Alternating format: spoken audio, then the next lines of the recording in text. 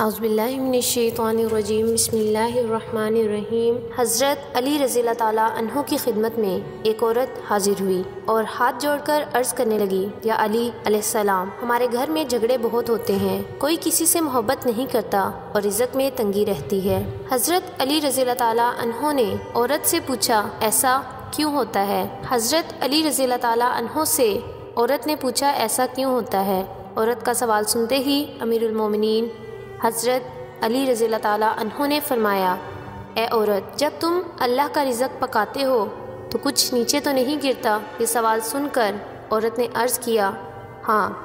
हज़रत अली जब जब मैं दूध उबालती हूँ तो वो थोड़ा सा गिर जाता है। बस औरत का ये कहना था कि हज़रत अली रज़ी तहों ने फरमाया, ए औरत, याद रखना कि जब तुम अल्लाह का दिया गया रिज़क गिराओगी और जलाओगी। तो इससे घर में बेसकूनी, झगड़े, नफ़रत और रिजक में तंगी के इसबाब पैदा होंगे। दूध को उबाल कर पीना चाहिए, लेकिन साथ साथ ये भी देखना चाहिए कि दूध उबल कर ज़मीन पर ना गिरे। तुम अपनी इस आदत पर काबू पा लो। अल्लाह के करम से तुम्हारे घर में सुकून, मोहब्बत और बरकत आ जाएगी।